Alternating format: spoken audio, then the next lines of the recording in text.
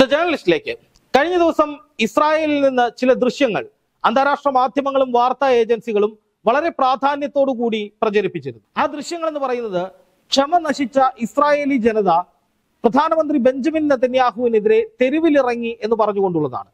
ആ ദൃശ്യങ്ങൾ ഒന്ന് പരിശോധിക്കുമ്പോൾ നമുക്ക് മനസ്സിലാകുന്നത് നൂറുകണക്കിന് ജനങ്ങൾ അർദ്ധരാത്രിയിൽ പ്രധാനമന്ത്രി ബെഞ്ചമിൻ നെതന്യാഹുവിനെതിരെ പ്ലക്കാർഡുകളും അതുപോലെ തന്നെ വലിയ ബാനറുകളും ഒക്കെ എടുത്തുകൊണ്ട് തെരുവിലിറങ്ങുന്ന കാഴ്ചകളാണ്. ഒരു വശത്ത് ഇസ്രായേലിന് വേണ്ടിയാണ് താൻ യുദ്ധം ചെയ്യുന്നത് എന്ന് പ്രധാനമന്ത്രി ബെഞ്ചമിൻ നെതന്യാഹു പറയുമ്പോൾ മറുവശത്ത് ജനങ്ങൾ എത്രത്തോളം രോഷാകുലരാണ് എന്ന് തെളിയിക്കുന്നതാണ് ഈ ദൃശ്യങ്ങൾ. അതിൽ ജനങ്ങൾ പറയുന്നത് എത്രയും വേഗം നിങ്ങൾ യുദ്ധം നിർത്തണം. ഞങ്ങളെ ഞങ്ങളുടെ കൂടപ്പിറപ്പുകളെ ഞങ്ങളുടെ കൂട്ടത്തിലുള്ളവരെ പിടിച്ചുകൊണ്ടുപോയ ബന്ദികളെ അവരെ തിരികെ എത്തിക്കാനുള്ള നടപടികൾ സ്വീകരിക്കണം. നൂറുകണക്കിന് ഇസ്രായേലികൾ ഈ ഗസ ഓപ്പറേഷനെതിരെ ഇപ്പോൾ സംഘടിച്ചുകൊണ്ടിരിക്കുകയാണ്.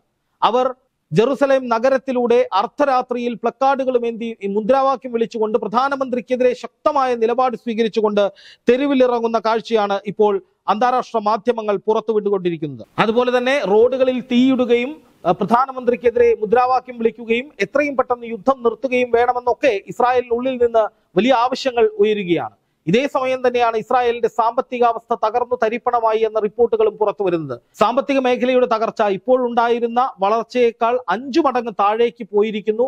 അതുപോലെ തന്നെ അവിടുത്തെ തുറമുഖങ്ങൾ പ്രവർത്തിക്കാത്ത സാഹചര്യം ഉണ്ടാകുന്നു. യുദ്ധത്തിന് വേണ്ടി സമ്പത്തിന്റെ ഭൂരിഭാഗവും ചെലവഴിക്കുന്നു. വിദ്യാഭ്യാസത്തിനും ആരോഗ്യത്തിനും ഒക്കെ വേണ്ടി നീക്കിവെച്ച പണം.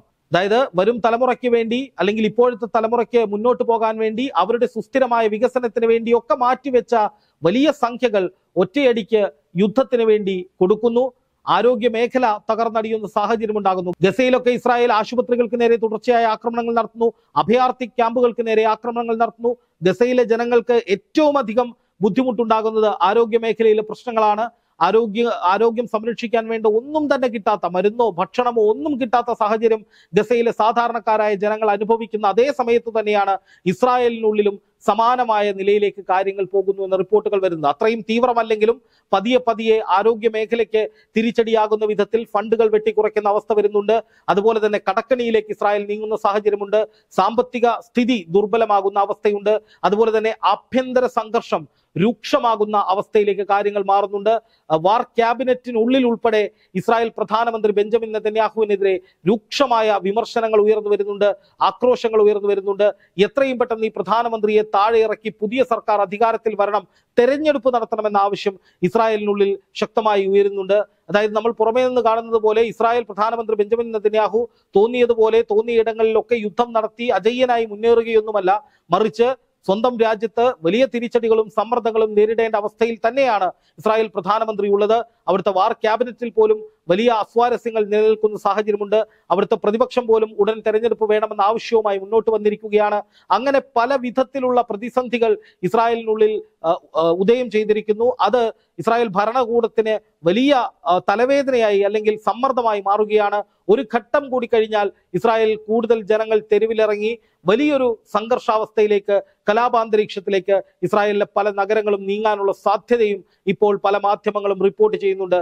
അതായത് ഗസയെ പൂർണമായി തകർത്തുകൊണ്ട് റഫയിലേക്ക് കടന്നു കയറി അതുപോലെ തന്നെ ലെബനനിലേക്കും ആക്രമണം നടത്തി.